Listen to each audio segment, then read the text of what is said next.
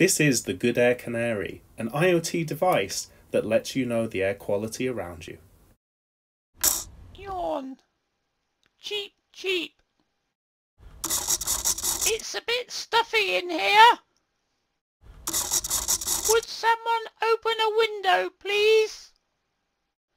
Oh, blimey. Open a window or I'm gonna pass out. Hopefully, at this point, you'd open a window for the benefit of you and the canary. Phew. That's better. But if you don't, Oh, blimey. Open a window or I'm gonna pass out. if you let CO2 levels reach 4,000 parts per million, Spark.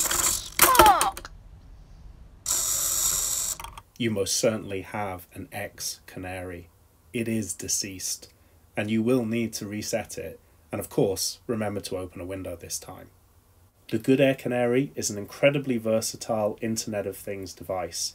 You can connect it to all sorts of sensors, for example, the ones shown here, or any number of APIs of your choosing.